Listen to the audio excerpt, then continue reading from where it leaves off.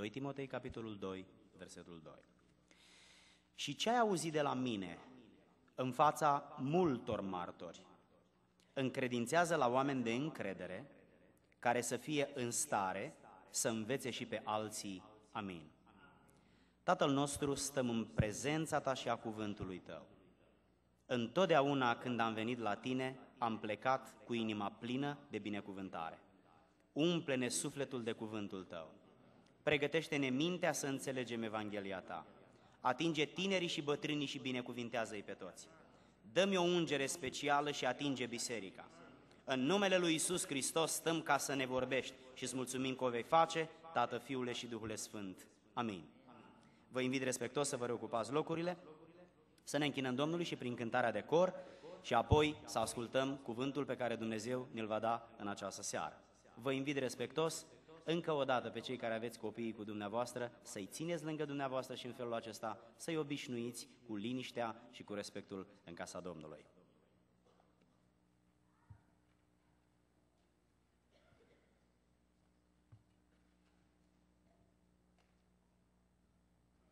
aceasta în prezența Domnului, lângă Evanghelia sa cea veșnică, care ne-a descoperit bunătatea lui Dumnezeu și în seara aceasta continuăm să avem inima deschisă pentru că Domnul vrea să continue să pună în ea cunoașterea de El, cunoașterea de lumea în care trăim și cunoașterea de cerul în care vom ajunge prin Harul Său. Seara aceasta suntem la lecția numărul 5 a ciclului numit Care sunt scopurile Bisericii lui Dumnezeu? Am văzut împreună din Cartea Domnului că scopurile bisericii sunt fixate de Domnul Isus Hristos, nu de biserică și nu de pastori. Pastorii trebuie să găsească în Scriptură scopurile pe care Hristos Domnul le-a practicat și le-a învățat apostolii le-au învățat și le-au practicat și biserica de astăzi trebuie, ca și biserica de la început, să facă ceea ce a făcut Domnul Isus Hristos. Evangelizare, ucenicizare, închinare, părtășie și slujire. Am văzut de asemenea că există riscul ca în funcție de abilitățile de slujire ale păstorului, biserica să accentueze mai mult unul dintre cele cinci scopuri și să le neglijeze pe celelalte. Am observat că dacă păstorul are o abilitate de evangelizare, el va chema toată biserica în evangelizare și le va neglija pe celelalte. Am observat că dacă păstorul are o abilitate de învățător, el va chema toată biserica într-un sistem de învățare și le va neglija pe celelalte. Am observat că dacă păstorul este un om care îi cântă inima, va chema toată biserica în închinare și va neglija celelalte scopuri. De asemenea, am observat că dacă păstorul este un om care iubește părtășia, el va chema toată biserica în părtășie și va accentua foarte mult scopul acesta, neglijindu-le pe celelalte. Și în încheiere, dacă păstorul este un om cu o inimă darnică pentru săraci, pentru oameni în nevoie, el va chema toată biserica în caritate și în ajutorare în ajutorarea săracilor și va neglija celelalte scopuri.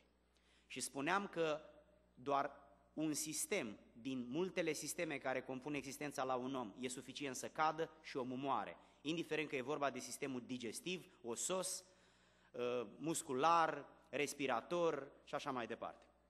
La fel, o biserică devine o biserică ce se prăbușește în momentul în care pierde unul și mai apoi două și mai apoi trei dintre scopurile pe care Domnul le-a lăsat. Adevărata biserică, care este vie, care are o viziune completă, este, viziune, este biserica care are echilibru în practicarea celor cinci scopuri.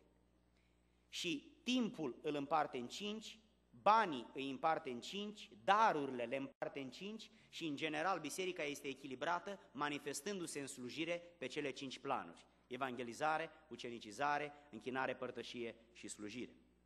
Am observat de asemenea, luând două exemple din Scriptură, Moise și Apostolii, Exod și Fapte, Vechiul și Noul Testament, am observat problemele, soluțiile și rezultatul și de asemenea în concluzie am observat cele patru lucruri pe care le-au făcut și Moise în Exod și Apostolii în Fapte.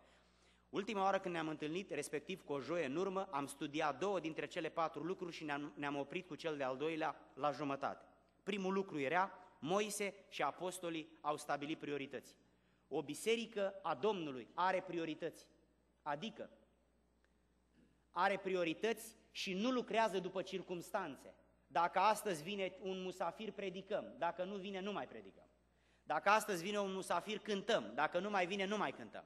Circumstanțele ne fac programul. Nu. O biserică a Domnului Isus are priorități clare priorități de care se ține și circumstanțele nu strică prioritafirii și oaspeții și împrejurările vieții nu strică prioritățile unei biserici, ci viitorul ei este dat de prioritățile pe care le are și de care se ține în fiecare zi. Nu mai repet ceea ce am spus de 3-4 ori în studiile biblice pe care le-am avut. Și Moise și apostolii au avut priorități clare, adică nu ne concentrăm asupra lucrurilor administrative. Nu, ci ne concentrăm asupra lucrurilor spirituale. Păstorii nu sunt pentru lucruri administrative, frați și surori. Pentru asta ei au hotărât diaconi.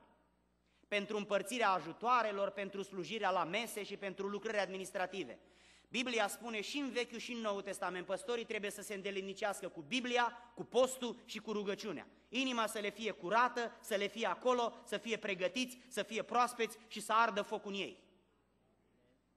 Al doilea lucru și Moise și apostolii au delegat, au trimis, au mandatat persoane chemate și calificate pentru slujire. Și vă spuneam data trecută, frați și surori, vă aduceam aminte din cuvântul Domnului despre acest aspect. Vă spuneam că și în Vechiul Testament și în Noul Testament este accentuat caracterul.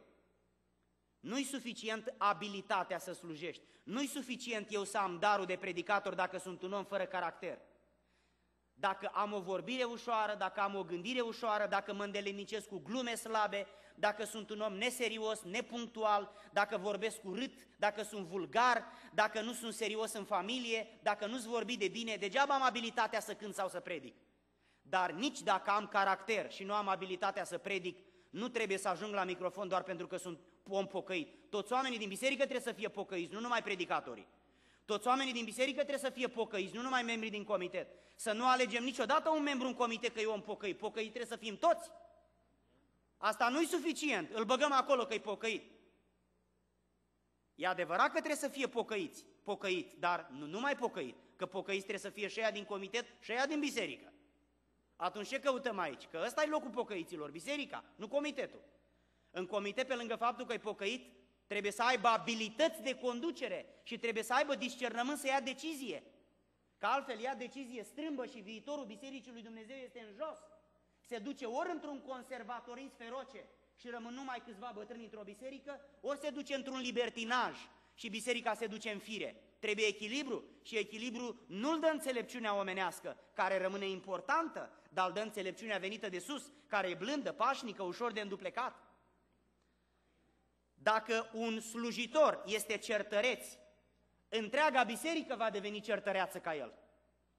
Dacă un slujitor nu primește oaspeți, întreaga biserică va deveni ca el și nu va primi oaspeți. Dacă un slujitor iubește banii, întreaga biserică va cădea în extrema să iubească banii. Dacă un slujitor nu este drept, nu este devotat, nu are discernământ, întreaga biserică va deveni ușoară ca el. Dacă un, un slujitor nu e înțelept și se comportă fără discernământ, întreaga biserică va fi ca el. Dacă o biserică, dacă un slujitor nu e un soț credincios, toți bărbații din biserică vor fi atrași de exemplul lui negativ și nu, va, nu vor fi bărbați serioși. Să știți că slujitorii dau tonul pentru un bărbat serios, pentru o familie sănătoasă, pentru un tată serios și exigent. Dacă slujitorii sunt niște, au familii dezmembrate, familii care nu au succes, acesta este un exemplu negativ pe care membrii bisericii îl va copia. În fruntea noastră trebuie să stea oameni care au o familie puternică. Cum vă închipuiți că sunt în stare să conduc biserica care la momentul acesta are 500 de membri cu cerere de membru? Dacă eu nu sunt în stare să conduc o femeie și trei copii, cum sunt în stare să conduc 500 dacă nu sunt în stare să conduc 4? Dacă am falimentat acolo, asta e suficient pentru dumneavoastră să știți că voi falimenta și aici. Pentru că asta înseamnă că nu am abilități de relație, nu am abilități de conducător. Ori sunt slab, ori sunt fanatic. Am una dintre cele două extreme care eșuează în conducere. Oricum, nu am calități de conducere. Și dacă am falimentat ca soț și ca tată, voi falimenta sigur ca și păstor. Numai o biserică slabă alege în fruntea ei bărbați care au falimentat în familie. Apostolul Pavel, pe lista calităților unui membru care slujește în biserică ca și slujitor, pune și succesul lui în familie. Pentru că succesul lui în familie arată abilitățile lui de a avea succes în biserică. Acela este testul că va conduce bine biserica. Faptul că își conduce bine familia.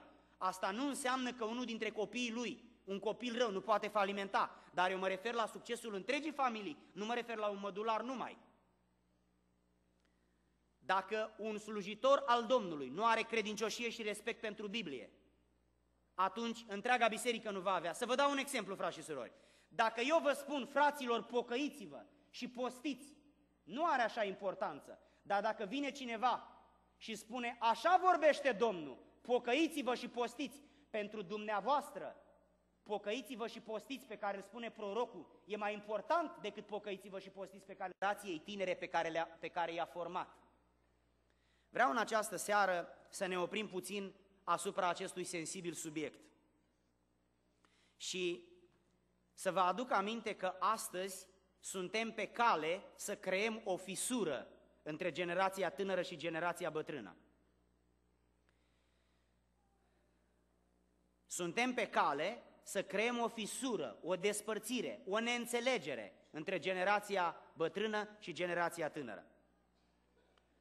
Fisura aceasta este expresia lipsei de înțelepciune, a lipsei de relație dintre generații. Apostolul Pavel a luat pe lângă el un bărbat tânăr și l-a format. Și nu unul, și-a luat mulți. Pentru că el a făcut și mai apoi a spus, ce ai auzit de la mine, Timotee, așa cum eu te-am ucenicizat, cum te-am crescut pe tine și cum te-am învățat să predici, învață și tu pe altul să predice. Dar numai pe ăla care va fi în stare să învețe și el la rândul lui pe altul. Timotee, mie nu mi-a fost frică că tu mi-ai locul de apostol. Nici ție să nu-ți fie frică că ăla pe care îl înveți ia locul. Și să-i spui și celui pe care tu îl înveți să nu-i fie frică de celălalt. Pentru că cel care este învățat să devină pocăit și matur, nu se va gândi niciodată să ia locul învățătorului lui. Numai dacă va vedea în învățător un om firesc, un om compromis, atunci și el va fi la fel și va, se va comporta firește și îl va da la o parte. Dar dacă ucenicul meu va vedea în mine un bărbat serios, un bărbat al lui Dumnezeu, va fi și el un bărbat al lui Dumnezeu. Dacă mă va vedea pe mine că gândesc duhovnicește și el va gândi duhovnicește și niciodată duhovnicește nu mă va da pe mine la o parte să se pună în locul meu. Când învățătorul e duhovnicesc, ucenicul e pe măsură și relația lor e duhovnicească. Când învățătorul e firesc, ucenicul e firesc și relația lor e firească, e ca în lume, dă-te jos să mă urc eu. Frați și surori, în această seară vreau să vă spun că fisura care se accentuează între bătrâni și tineri este o realitate. Nu-ți trebuie multă minte să o observi. Generația bătrână are pretenția că au dreptate, au experiența, au botezul în sau cu Duhul Sfânt, au darurile, au trecutul plin de descoperiri și de minuni supranaturale și totdeauna spun, noi avem aceste lucruri și este adevărat, tot respectul pentru ei. Generația tânără are viitorul. N-au experiență, nu au trecut prin experiențe spirituale prea mari, probabil deloc, dar au viitorul. Și între unii și alții se creează o fisură de viziune. Cântări vechi și cântări noi. Aceste cuvinte, acest vocabular, n-ar trebui să existe într-o biserică care are viziune, dar să trecem peste asta. Cântările nu-s vechi și noi, sunt inspirate și neinspirate. Că cântări inspirate vechi sau cântări inspirate noi, asta nu are nicio importanță. Dacă sunt inspirate, sunt de la Duhul Sfânt toate. Dar dacă sunt neinspirate, nu mai are importanță dacă sunt vechi sau noi. Cântările nu trebuie măsurate și calificate în vechi și noi, fraților, ci în inspirate și neinspirate. Pentru că noi nu numim prorocii vechi și noi, nu numim predici noi și vechi, nu numim Biblii vechi și Biblii noi. Noi toate lucrurile le împărțim în fire și duhovnicești, pentru că acesta e calificativul care face diferența într-o biserică. Nu nou sau vechiul, că de multe ori nou este stricat, iar vechiul este bun. Dar se poate și invers. Duhovnicescul trebuie să aibă prioritate într-o biserică, nu vechiul. Fisura care se creează și care desparte părinți, care desparte bărbați și femei, care desparte oameni, fisura aceasta trebuie acoperită. Ea este o crăpătură ce se formează. Bătrânii disprețuiesc pe tineri și nu se gândesc deloc la ei.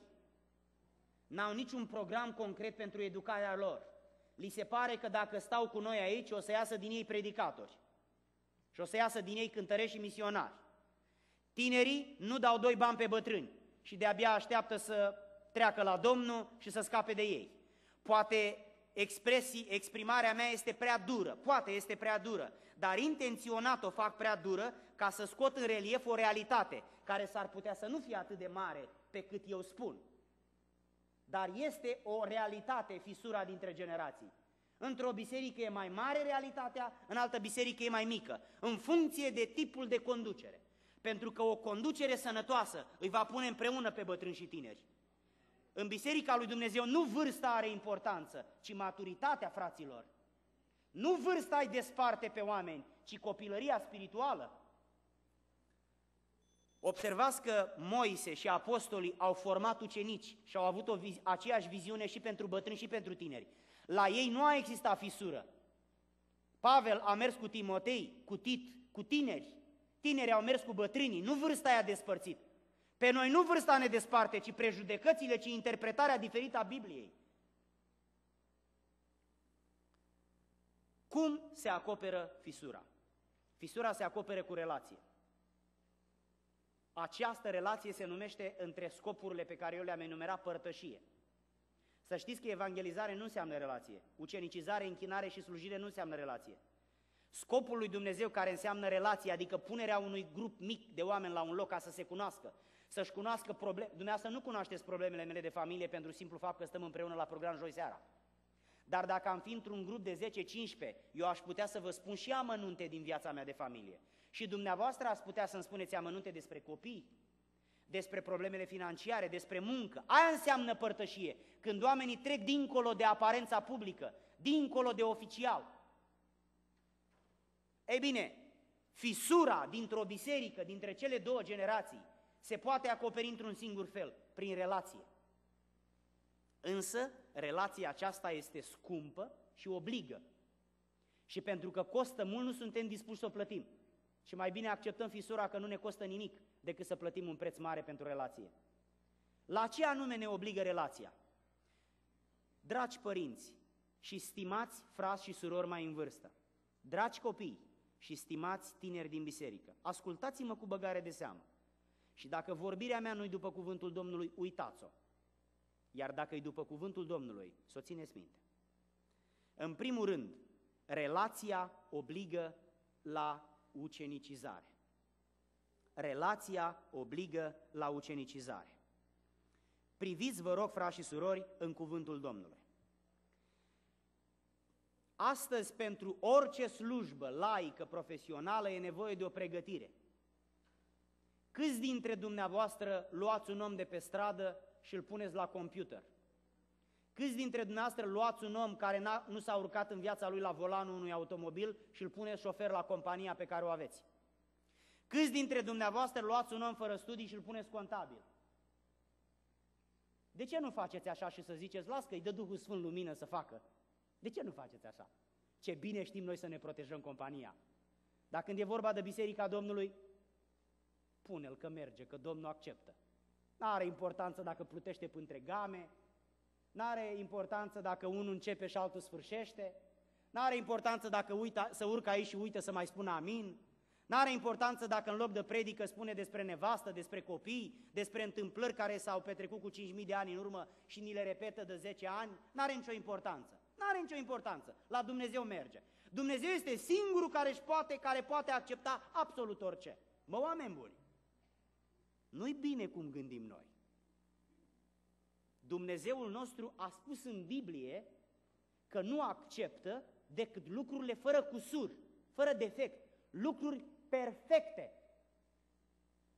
De aceea predica rostită trebuie să fie rostită de cel mai cu ungere dintre noi, indiferent cum îl cheamă. Fraților, locul pentru predică nu este să răsplătim pe cineva. Locul pentru cântare nu este să mulțumim cuiva că a făcut nu știu când un bine, că a contribuit la construcția bisericii. Slujba în biserică trebuie să zidească poporul, nu să-l răsplătească pe slujitor. Noi de multe ori punem oameni să slujească ca să-i răsplătim pentru ce au făcut odată.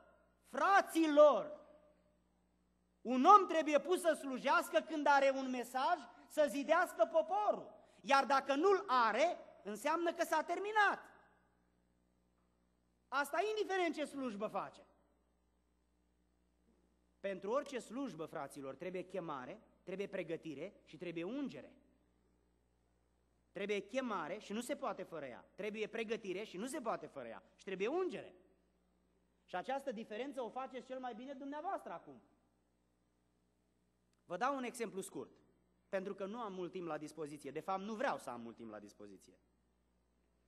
Observați că cei care au avut calitatea să-i crească și să-i ucenicizeze pe alții, ei înșiși au fost ucenicizați și maturi. Vă întreb, frați și surori, cine l-a ucenicizat pe Iosua? Nu știți? Moise. Cine l-a ucenicizat pe Elisei? Cine i-a ucenicizat pe apostoli? Cine l-a ucenicizat pe Pavel, pe Tit și pe ceilalți? Zicem Pavel sau apostolii? Observați că un, a existat un Iosua pentru că a existat un Moise. Observați că a existat un Elisei pentru că a existat un Ilie. Observați că au existat 12 pescari făcuți apostoli pentru că a existat un Isus Hristos, om și Dumnezeu în același timp. Și observați că a existat un Tit și un Timotei, doi tineri fără viitor, doar pentru faptul că a existat un Pavel. Nu-mi permit acum să ridic un tânăr din biserică, care își petrece timpul la Starbucks, și să-i spun, ia ridică-te un pic, nu-mi permit să fac asta. Dar mă apropii cu exemplu până aici și vă întreb, cine îl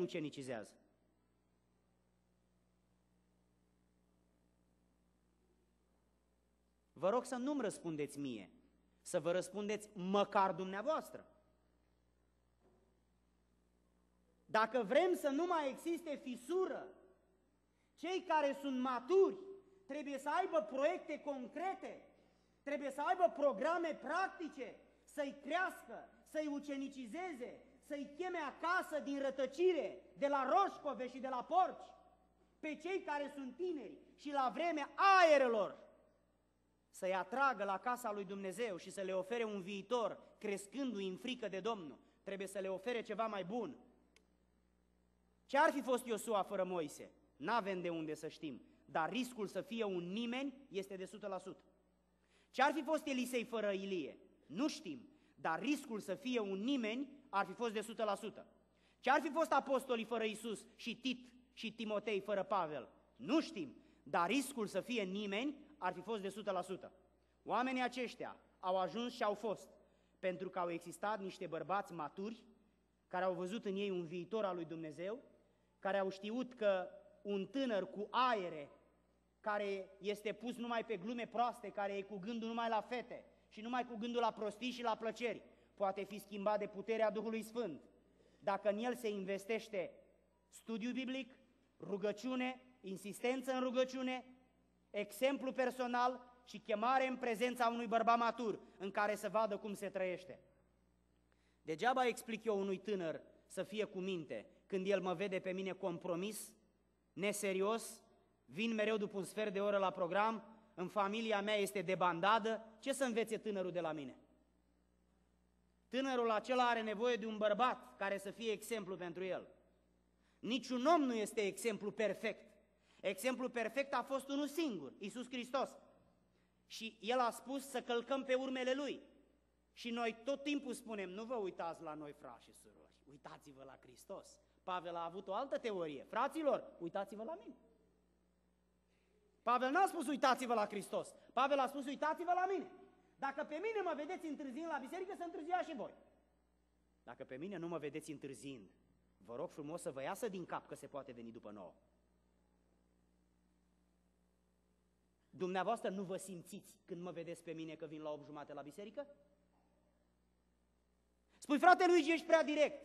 Dragul meu, eu pot să fiu atât de indirect încât să pleci și să nu pricep nimic de la mine. Dar te întreb, ce îmi va spune mie stăpânul când mă voi întoarce acasă, că în loc să predic adevărul, am vrut să vă lingușesc și să spun trei vorbe și să nu înțelegeți nimic?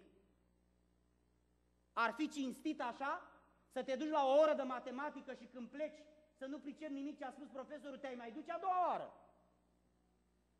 Frații mei, cuvintele mele nu au menirea să vă jignească. Nu. Dumneavoastră sunteți oamenii lui Dumnezeu, sunteți frații mei și împreună vom moșteni cerul. Însă este slujba mea și prin votul dumneavoastră ați confirmat chemarea mea ca să vin între dumneavoastră și să spun cuvântul Domnului. Nu-l spun nici pe departe cu intenția să supăr pe cineva, însă îl spun ca noi toți să ne pocăim. Nu-i normal ca omul lui Dumnezeu să fie punctual? Spun eu ceva greșit?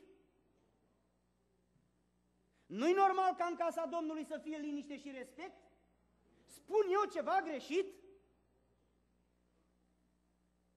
De fapt, aceste lucruri nici n-ar trebui să fie pomenite între noi. Astea le-am făcut înainte, când n-aveam Dumnezeu, când n-aveam lege. Dar acum, duceți-vă de la mine, cei care lucrați fără de lege. Acum avem lege, acum avem Scriptura, acum avem Harul, acum avem pe Duhul Sfânt, acum avem dreptarul învățăturilor sănătoase, care ne spune ce este bine și ce este rău. Și avem pe Duhul Sfânt care ne luminează. Frații mei, Moise trebuie să se ocupe de Iosua. Unde ești Moise? Iosua unde e? Ilie trebuie să se ocupe de Elisei. Unde ești Ilie? Și pe Iosua când l-ai văzut ultima oară?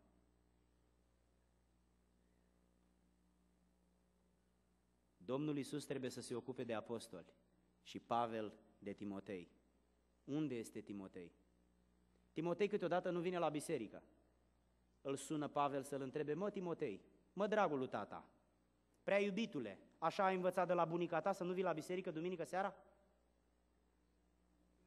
Tit, așa ai învățat de la bunica ta să nu vii la marțea la rugăciune? Dacă Pavel nu-l va întreba niciodată pe Timotei de ce nu vine la biserică, credeți dumneavoastră că Timotei va veni? Nu. Va veni din joi în Paște. E nevoie de un Pavel. Unde e Pavel? Dumneavoastră știți. Să nu mai existe fisură și să existe relație. E nevoie de învățător și este nevoie de ucenic. Este nevoie de oameni maturi, de oameni cu experiență, de oameni cu greutate spirituală, care să se ocupe de tineri, de copii, de noi convertiți, de oamenii care au alunecat, care au căzut. Este nevoie, frați și surori. O singură persoană poate să fie înger, nu se poate ocupa de toate nevoile. Moise a vrut să facă asta și a venit preotul Madianului și i-a spus ce faci tu nu este bine. Te ostenești și tu și ostenești și poporul. Stă poporul la rând la tine cum stătea în România la rând la butelii. Și la zahăr și la tacâmuri. Tacâmurile erau aripile și gâturile de la pui, că nici pe alea nu le aveam. Poporul trebuie să fie slujit, nu să stea la rând. Poporul trebuie să fie slujit, pentru asta trebuie să existe slujitori disponibili. Oameni care să-și înțeleagă chemarea și să înțeleagă că ei sunt un Moise pentru Iosua, un Ilie pentru Elisei. Dacă ăștia nu vor fi, și Iosua și Elisei își vor face de cap și nu-i va întreba nimeni, drăguțule, tu unde ai fost ieri? Dacă pe copiii noștri nu i-am întrebat de ce vine la 9, știți ce se întâmplă? Mâine vin la 10. Și dacă nu întrebăm de ce au venit duminică seara la 12 noaptea, lunea vi- duminica viitoare vin la 1. Dar câtă ceartă și mustrare investim în ei? Numai ei și noi știm. Și câteodată avem senzația că nu se lipește nimic de ei. Să mă iertați dacă sunt prea îndrăzneț. Dar pentru oamenii care în casa Domnului nimeni nu îi întreabă nimic, care vrea vine, care nu, nu. Mă, oameni buni, aici nu-i club unde ți-ai făcut card și vii când vrei. Aici e Biserica lui Isus Hristos și ești membru angajat în armata lui Isus. Și Isus Hristos a dat autoritate unor oameni pe care i-a numit apostoli, proroci, păstori și învățători și evangeliști, oameni care reprezintă autoritatea lui Dumnezeu, care trebuie să fie exemple și care trebuie să fie plini de Duhul Sfânt, care trebuie să ucenicizeze pe copii, pe tineri și pe noi convertiți. Atunci nu va exista fisură, ci relație.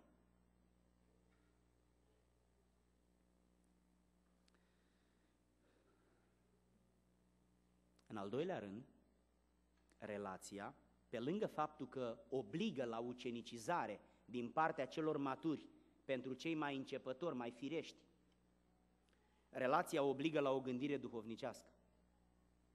Nu există relație duhovnicească cu o gândire firească. E, te temă și la ăsta, vai de tine. Fraților, când ați auzit un om gândind așa, să vă feriți de el cum vă feriți de tracul care trece pe drum. Pentru că ăsta e mai periculos decât camionul ăla. Dacă dă camionul peste tine, s-ar putea să mai scapi. Dar dacă ăsta dă peste tine, ți-ai pierdut sufletul, că te face ca pe el. Un om firesc te va ajuta într-un timp scurt, dacă ai relație cu el, să devii ca el. Pentru că tovărășiile rele strică obiceiurile bune. Nu vă faceți tovarăși oameni firești, oameni cu o vorbire ușoară, oameni disprețuitori, ironici, batjocoritori. A, ăla e pastor, ăla e prezbiter, ăla e mai marele cântăreților, ăla e corist, aia e nevastă. Tot timpul disprețuiește și aruncă cu venin ca un șarpe. Ce crezi că vei învăța de la el? În două luni devii ucenic și ucenicul nu poate face decât ce face învățătorul. Ascultă-mă, ai nevoie de o relație duhovnicească pentru ca gândirea să-ți devină duhovnicească. Fraților, dacă vedeți o slăbiciune la mine, aduceți-vă aminte, unu, nu sunt înger, doi, eu nu accept slăbiciunile pe care le am. Eu nu mă mândresc cu ele. Eu mă lupt. Rugați-vă pentru mine. Fraților, nu mă dați în tarbacă povestindu-mă când la unul, când la altul, când la Elim, când la Filadelfia. Nu faceți așa, pentru că într-o zi veți da socoteală. Pe mine ca om nu mă deranjează, că nu sunt eu înger, sunt doar un om. Dar ca slujitor, nu ai dreptul să lovești în poziția unui slujitor. Eu ca om n-am valoare mai mare decât dumneata, poate n-am nici atât. Sunt o persoană simplă, foarte simplă. N-am avuție, n-am o poziție mare, n-am, n-am, n-am proprietăți, sunt un om foarte simplu. Sunt ca cei mai simpli dintre dumneavoastră. Dar din punct de vedere spiritual în casa lui Dumnezeu, Dumnezeu mi-a dat mie o poziție numită păstor. Dacă lovești în ea, într-o zi îi vei răspunde stăpânului meu de ce ai făcut așa. De mine ca om să zici ce vrei, dar să ții minte. Ai pus neîncredere și noroi asupra unui om care de astăzi înainte nu va mai fi ascultat ca înainte, pentru că ți-ai permis să arunci cu noroi asupra lui. Și oamenii te cred, pentru că nu mă cunosc pe mine.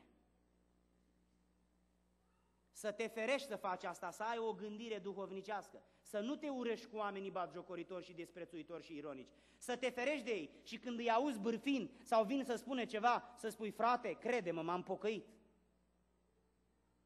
Du-te și împărtășește cu altcineva veninul tău, nu mi-l da mie, că de-abia m-am vindecat. Dacă v-ați pocăit, pocăiți-vă odată, frați și surori. Dacă ne-am pocăit, să ne pocăim odată, frați și surori. Al treilea lucru care, la care te obligă relația ca să acoperi fisura este să faci diferența între principii și încredințări. Această temă este o temă lungă, este o temă greu de abordat, îți trebuie timp și ai nevoie să deschizi Biblia de multe ori, dar eu o prezint puțin întreagă pentru dumneavoastră. Frații mei, Biserica lui Dumnezeu trebuie să facă diferența între principii și încredințări. Cine nu face diferența între principii și încredințări este departe să înțeleagă Biblia. Pentru că prima înțelegere care se naște în mintea unui cititor al Bibliei, prima, cea mai elementară, este să faci diferența între principii și încredințări. Cei mai mulți oameni nu fac diferența aceasta. Încurcă și confundă principiile cu încredințările și în mintea lor e o învălmășeală ca într-o parcare unde fiecare pune mașina cum îi place. Vă dau câteva exemple. Însă dumneavoastră să nu rămâneți la exemplele pe care vi le dau eu. Lăsați-vă provocați și cercetați mai mult. Fraților, ceea ce conține Biblia sunt principiile. Domnul spune, plecați de la mine voi, cei care lucrați fără lege, fără principii, fără norme. Biblia conține principii. Cel mai mare principiu, iubește-L pe Dumnezeu. Al doilea principiu, iubește-L pe aproapele. Cele patru principii din fapte 2 cu 42. Citirea cuvântului, frângerea pâinii, mai vă aduceți aminte? Părtășia frățească și rugăciunea. Iată dar patru principii. Alte principii, nu curvi. Alte principii, nu minți, nu fura, nu pofti. Și multe, nu vorbi de rău, iubește, iartă. Biblia e plină de principii. Principiul se numește voia lui Dumnezeu, scrisă negru pe alb în Biblie. Ăsta se numește principiu. Ce este încredințarea? Încredințarea este libertatea pe care Dumnezeu mi-o dă mie să fac un anume lucru cum vreau eu, într-un domeniu unde nu există principii. Încă o dată, încredințarea este libertatea pe care mi-o oferă cerul să fac cum mi se pare mie mai duhovnicește și mai bine pentru mine și familia mea, mai ziditor și mai constructiv, într-un domeniu unde nu există principii. Pavel spune, au existat principii pentru mâncare în Vechiul Testament?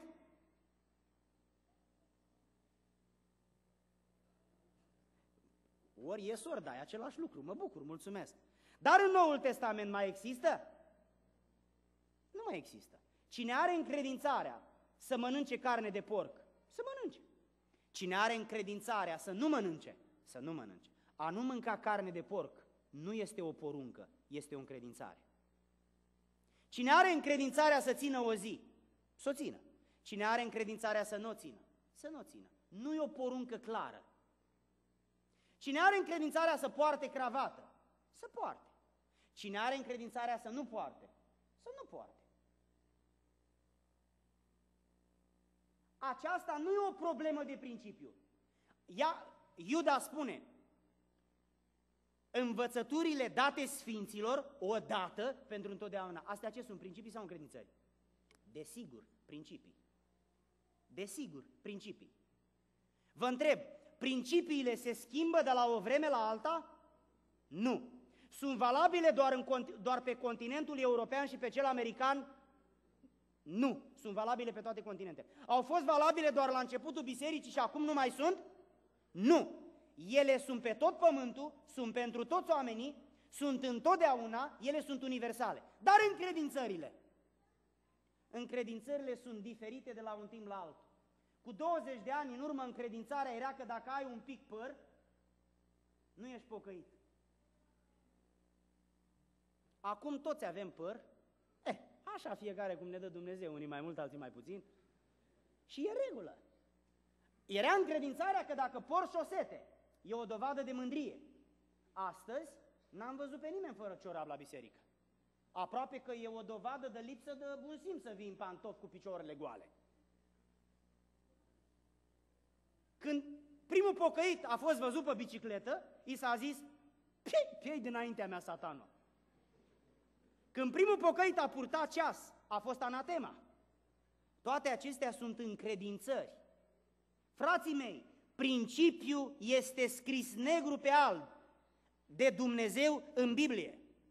Încredințările sunt libertatea pe care Dumnezeu ne-o dă să procedăm cum e mai constructiv în cultura noastră, cum este mai duhovnicește în zona unde trăim, cum este mai potrivit între oamenii în care trăim să fie ziditor, să fie constructiv, dar să aibă și perspectiva viitorului, nu a trecutului. Că noi nu mergem înapoi, mergem înainte, cel puțin așa îmi place să cred. Acum, veți constata că există o diferență între principii și încredințări. În primul rând, principiul niciodată nu face parte dintre încredințări și încredințarea nu poate deveni niciodată principiu. Eu cred despre mine, v-am mai spus asta într-o împrejurare și cu această întâmplare închei și o să continuăm joia viitoare. Când eu m-am întors la Domnul, eu în vremea aceea făceam sport, un, o anume disciplină sportivă, un sport de performanță și în disciplina de sport pe care eu am făcut-o trebuia să ai un mare respect pentru antrenor. Era, nu era un sport de echipă, era un sport individual. Și în sportul individual ești tu și antrenorul. Nu sunt încă 10-11 ca să-ți permiți glume cu ei împotriva lui. Ești tu și el. Iar el e maestru, este antrenorul și trebuie să faci tot ce-ți spune. Și ori de câte ori el intra, trebuia să te pleci cu respect în fața lui pentru că el era cel ce te învață. Trebuia să ai respect pentru el. Când eu m-am pocăit și pentru prima oară am intrat în Biserica lui Dumnezeu și am realizat că Dumnezeu este Dumnezeu, nu-i doar o religie, eu m-am pocăit, eu m-am smerit. Și în seara aceea de duminică eu am făcut o juruință. Și am zis așa, Doamne Dumnezeule, atâta vreme cât eu am să stau în sanctuar, dar numai în sanctuar, eu n-am să stau niciodată picior peste picior. Fraților, iertați-mă să nu vă simți jenați. Eu n-am să stau niciodată picior peste picior. Au trecut 19 ani. O singură fracțiune de secundă eu nu am stat picior peste picior. Pentru că încredințarea mea este că eu nu-L respect pe Dumnezeu dacă stau așa. Eu și dacă mă duc în fața unei autorități, mă jenez să stau așa și stau într-o poziție mai respectoasă. De ce? Sunt în fața unei autorități, dar în fața Sfântului Dumnezeu. Dar asta nu scrie în Biblie, că dacă asta ar scrie în Biblie, duminică seara asta aș predica, dar nu scrie în Biblie. Și eu nu am dreptul să predic ce nu scrie în Biblie. Pentru că dacă eu iau încredințarea mea și profit de faptul că am ajuns la microfon și n-am minte și o predica pe un principiu, mulți mă vor crede și atunci intră confuzie în popor și nu mai știu frații ce să facă. Și Biblia spune, cine adaugă, Dumnezeu îi va adăuga urgiile scrise în carte. Eu nu am dreptul să fac din încredințarea mea principiu, chiar dacă sunt păstor. Eu am dreptul să predic doar principiile din Biblie. Încredințările, eu pot să am încredințări, dar sunt pentru mine, nu pentru alții. Încredințările nu se predică. Iertați-mă că v-am spus despre o încredințare, v-am spus-o doar ca exemplu să înțelegeți mai bine. Frați și surori, ne oprim acum aici pentru că timpul a expirat, s-a, consumat, s-a sfârșit și nu are rost să stăm peste program pentru că prin Harul Domnului noi vom fi pentru mulți ani de aici înainte împreună. Și aș vrea să rămânem doar cu ce am auzit până acum, alături de ceea ce robii Domnului ne-au spus și cei ce ne vor mai spune prin Duhul Sfânt și în alte feluri, prin cântarea de laudă, prin rugăciune. Însă ceea ce aș vrea în această seară este să realizăm unde ar trebui să fim și să mai auzim încă o dată cuvintele care spun puțin dojenitor. Voi care de mult ar fi trebuit să fiți învățători, sunteți din nou elevi, voi care de mult ar fi trebuit să fiți meșteri, sunteți din nou ucenici. Voi care de mult ar fi trebuit să învățați pe alții, aveți din nou nevoie să vă învețe alții. Din nou în clasa întâia și din nou și din nou. Lăsați învățăturile începătoare și mergeți cu avânt, cu pasiune spre cele desăvârșite. Nu vă mai ocupați de lucruri de, lucruri de început, pentru că acum ați devenit maturi, duhovnicești. Haideți să ne punem o notă în seara aceasta. Nu să punem nota altora. Nu, nu avem dreptul acesta. Numai Dumnezeu pune notă. Persoana căreia am dreptul să-i pun notă sunt doar eu. În seara aceasta am iau un moment de rugăciune alături de dumneavoastră și mă privesc pe mine. M-am ostenit eu ca să cresc tineri din Biserica lui Dumnezeu? Mi-am consumat eu timpul cu ei, m-am dus eu după ei, am încercat să-i aduc de acolo de unde sunt sau dacă am văzut că nu vin la biserică, i-am disprețuit, le-am pus eticheta de fire și să se ducă cu Dumnezeu la americani. Ce atitudine am eu față de copii și de tineri? Ce atitudine am eu față de cei căzuți? Am o atitudine de blândețe, de înțelegere, mă rog pentru ei, încerc să vorbesc cu ei, încerc să-i încurajez, încerc să-i atrag înapoi spre Dumnezeu. Cum sunt eu? Cum e biserica? Ce sistem avem noi? Ce priorități avem noi? Fraților, există fisură, dar o putem acoperi cu relație, însă relația costă. Vă cer în această seară să plătim prețul, pentru că suntem părinți, pentru că suntem oameni al lui Dumnezeu și pentru că suntem slujitori. Vă rog în numele Domnului, lăsați aceste cuvinte în mintea dumneavoastră și cerneți-le. Iar dacă socotiți că sunt de la Duhul Sfânt, rugați-vă în direcția în care ele își fac lucrarea în inima dumneavoastră. Vă invit respectos să ne ridicăm și să încheiem cu rugăciune. Să ne rugăm în comun, fiecare în dreptul lui.